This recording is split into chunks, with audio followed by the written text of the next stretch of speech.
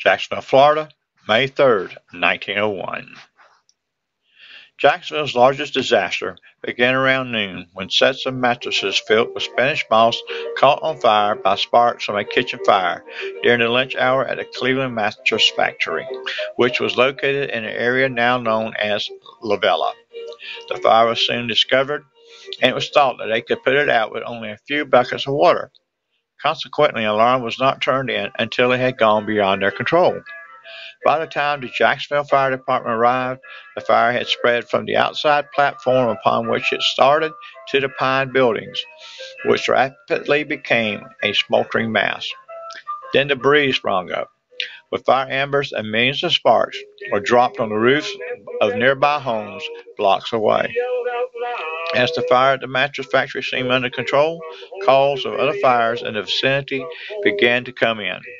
Winds had spread embers throughout a several block area. These winds fanned embers, igniting a massive fire that engulfed a major portion of the city. By 8:30 p.m. that evening, the winds had died down and the flames quelled. Several people had lost their lives in the largest, most destructive fire in the history of the southeastern United States. 2,368 buildings were burned, 140 blocks were destroyed, and 10,000 people were left homeless. The National Guard was on the streets of Jacksonville by sundown. Florida's Governor William S. Jennings declared a state of martial law in Jacksonville and dispatched several state militia units to help. Reconstruction started immediately, and the city was returned to civil authority on May 17, 1901. This became known as the Great Fire of 1901.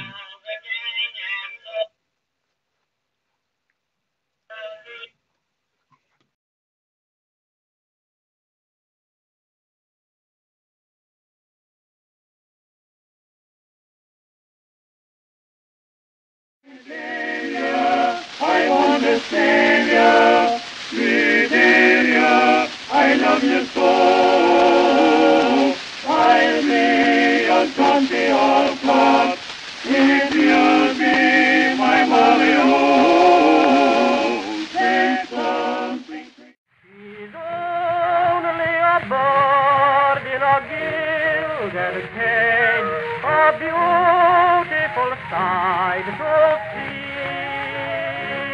You may think she's happy and free from care.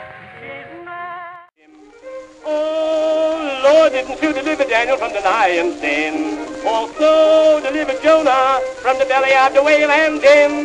Three Hebrew children from the fiery furnace, so the good book do declare. Now, Lord, if you can't help me, for goodness sake, don't you help that bear. Now, Mr. Bear. I can't forget the way I once caressed you. I only pray we'll meet another day in the shade of the old apple tree. No brakeman that took and throwed her down. Bellerin' like a prune fed calf with a big gang hanging around. And to that crowd, yelled out loud, Won't you come home, Bill Bailey? Won't you come home?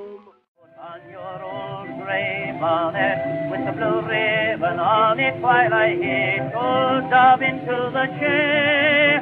And through the fields of clover we'll drive up to Dover on our golden wedding day. Put on your old gray bonnet.